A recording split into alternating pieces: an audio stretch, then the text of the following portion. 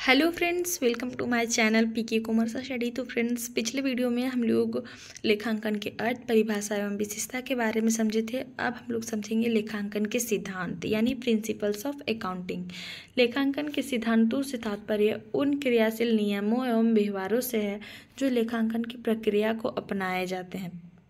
यानी कि लेखांकन के सिद्धांतों से तात्पर्य उन क्रियाशील नियमों, यानी कि जो रूल्स होते हैं अकाउंटिंग के अंतर्गत, यानी कि जब हम लोग अकाउंट बनाते हैं ट्रायल बैलेंस बनाते हैं trading account profit and loss account and balance sheet बनाते हैं, उनमें से जो नियम, यानी प्रोसेस को अपनाया जाता है उसे ही लेखांकन के सिद्धांत कहा जाता है, यानी कि जो लेखांकन की प्रक्रिया को अपनाती है।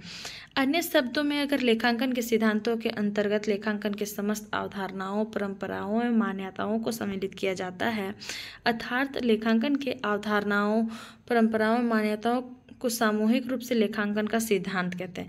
यानी कि जो अकाउंटिंग का कॉन्सेप्ट होता है, इसकी परंपराएँ होती है मान्यता होती है, ये सभी का जो एक सामूहिक रूप होता है, उसे क्या कहा जाता है? लेखांकन के सिद्धांत। लेखांकन के सिद्धांतों के कुछ महत्वपूर्ण परिभाषाएँ दी गई है जो कि इस प्रकार है। तो American institute of certified certified public accountants के अनुसार क्या बताया गया है? सिद्धांत शब्द का आशय सामान्य विधि अथवा नियम से है।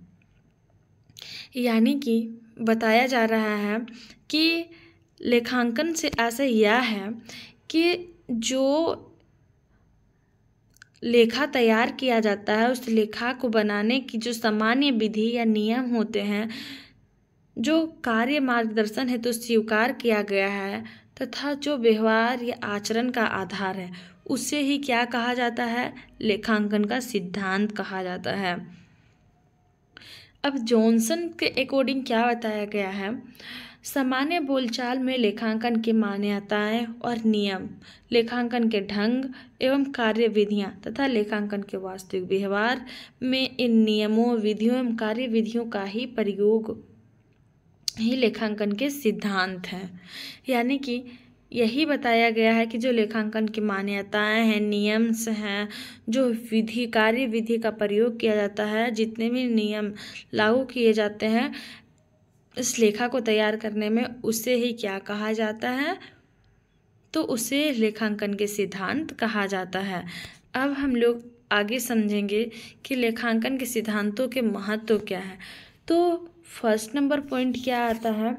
विभिन्न वर्षों की आर्थिक स्थिति का तुलनात्मक अध्ययन।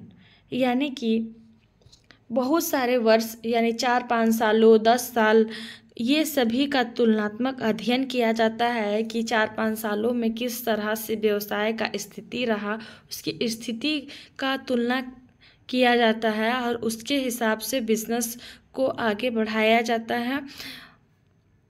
तुलनात्मक अध्ययन, लेखांकन के सिद्धांतों के अनुसार क्या बताया गया कि लेखांकन किए जाने पर ही किसी व्यापार के स्वामी, यानी जो मालिक होता है, मालिक के द्वारा अपने व्यापार के विभिन्न वर्षों के व्यवसायिक परिणामों का तुलनात्मक अध्ययन किया जा सकता है और इस निष्कर्ष पर पहुँचा जा सकता है कि उसका व्यापार, प्रगति या उन्नति कर रहा है अथवा नहीं। वही बात बताया गया है फ्रेंड्स, जो मैं अभी आप लोगों को बताया कि चार पाँच साल पिछले वर्ष की स्थिति का तुलना करके जो व्यापार के मालिक होते हैं, वे उसका तुलना करके पता करते हैं कि किस तरह से ये व्यवसाय में प्रॉफिट हुआ है या फिर लॉस हुआ है। उसी के आधार पर निष्कर्ष तक पहुँचता है और अपने बिज़नेस को आगे बढ़ाने का कार्य करता है। क्या आता है सेकेंड नंबर पॉइंट पे कि व्यवसाय ही सही आर्थिक स्थिति का मूल्यांकन करता है। यानी कि व्यवसाय की जो आर्थिक स्थिति होता है एक्यूरेट तरीके से अगर चल रहा होता है तो यही होता है कि ये व्यवसाय की सही आर्थिक स्थिति का मूल्यांकन कर देता है। इन सिद्धांतों का पालन करके व्यवसायी अपने व्यवसाय के शुद्ध लाभ एवं आर्थिक स्थिति की गणना कर सकता है। यानी कि अगर वो लेखा करेगा अपना कार्यविधि को सही तरीके से लेखा जोखा करेगा तो एक सही डायरेक्शन पे चलेगा और एक एक्यूरेट तरीके से नेट प्रॉफिट जो होता है, उससे प्राप्त कर पाएगा और जो आर्थिक स्थिति बिज़नेस का रहेगा, उसका भी वो प्राप्त कर पाएगा जानकारी। इस प्रकार वह अपने व्यवसाय की सफलता का मूल्यांकन कर लेता है। थर्ड नंबर पॉइंट क्या आता है? व्यापारिक घटनाओं का विधिवत लेखांकन। लेखांकन के सिद्धांतों के द्वारा ही व्यवसायी अपने व्यवसाय में होने वाले लेन देनों का विधिवत रूप से लेखा कर सकता है और आवश्यकता पड़ने पर इन लेखों के विषय में आवश्यक सूचना प्राप्त करता है। नेक्स्ट क्या आता है? नेक्स्ट पॉइंट में लेखांकन सूचनाओं के अर्थपूर्ण एवं विश्वसनीय बनाता है।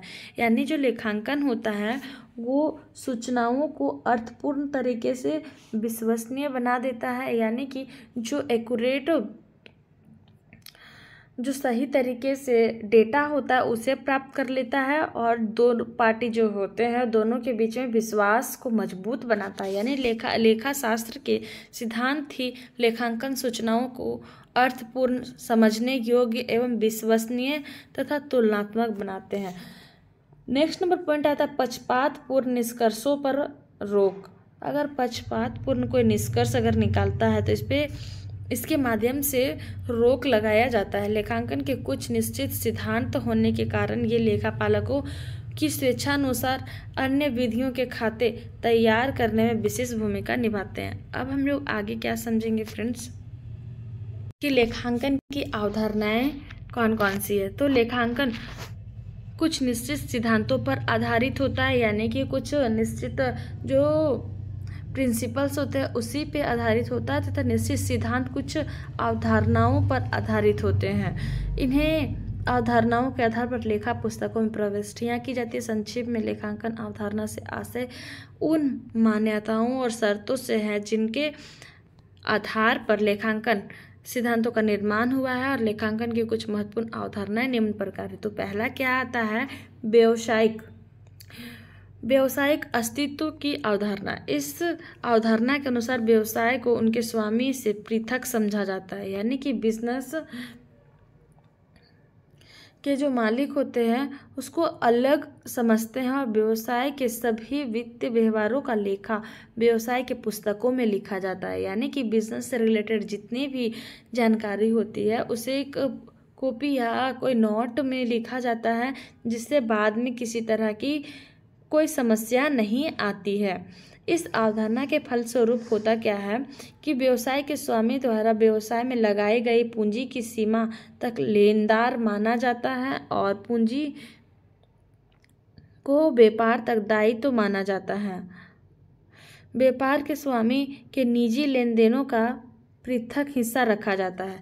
यानी कि जो बिज़नेस के मालिक होते हैं, उसका अगर कोई पर्सनल लेन देन होता है बिज़नेस से रिलेटेड तो उसका लेखा जोखा अलग डायरी में नोट किया जाता है। यही कारण है कि व्यापार के स्वामी जब कभी निजी प्रयोग हेतु तो व्यापार से रोकड़ अथवा माल आरहित करता है, तब उनका लेखा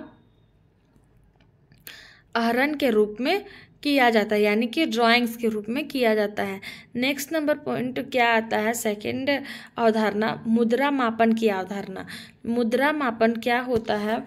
मुद्रा मापन में लेखांकन की इस अवधारणा के अनुसार केवल उन्हीं तथ्यों, घटनाओं एवं लेन देनों की लेखा किया जाता है जिनका माप केवल निश्चित रूप से मुद्रा के रूप में किया जा सके। मुद्रा में ना मापा जा सके जा सकने वाली घटनाओं को इसमें नहीं लिखा जाता, चाहे वे कितनी भी महत्वपूर्ण क्यों ना हो। चालू व्यवसाय अथवा सतत व्यवसाय की अवधारणा, इस अवधारणा के अनुसार यह माना जाता है कि व्यवसाय भविष्य में अनंत काल तक चलता रहेगा जब तक कि इसके विपरीत कोई प्रमाण ना हो। इस अवधारणा का महत्व इसके संभावित समापन से तुलना करने पर स्पष्ट हो जाता है। यदि संभावित समापन के आधार पर व्यवसाय संचालन का लेखांकन करे तो कर्मचारियों द्वारा अपनी सेवाएँ अर्पित करना, पूर्तिकर्ताओं द्वारा वस्तुओं व सेवाओं की पूर्ति करना तथा अन्य व्यवसायिक उपक्रमों द्वारा व्यवसायिक इकाई से लेन देन करना असंभव हो जाएगा। लागत की अवधारणा में क्या बताया गया है? यह अवधारणा चालू व्यवसाय की अवधारणा है, यानी कि जो करंट बिज़नेस होती है, उस पर इसका प्रयोग किया जाता है। यह अवधारणा के अनुसार संपत्तियों का लेखांकन उस मूल्य पर किया जाना चाहिए, जिस मूल्य पर इसे प्राप्त किया गया अर्थात लागत मूल्य पर।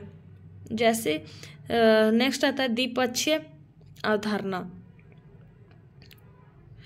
द्विपक्षीय अवधारणा से ऐसे यह बताया गया है कि इस अवधारणा के, इस अवधारणा, इस सिद्धांत पर आधारित है कि प्रत्येक लेन देन के दो पक्ष होते हैं, एक डेबिट और दूसरा क्रेडिट। लेखांकन की इस अवधारणा के अनुसार व्यवसाय व्यवहार दो खातों को प्रभावित करता है। लेखांकन में उस व्यवहार के एक पक्ष को डेबिट तथा दूसरी पक्ष की रकम से दूसरे पक्ष को क्रेडिट किया जाएगा।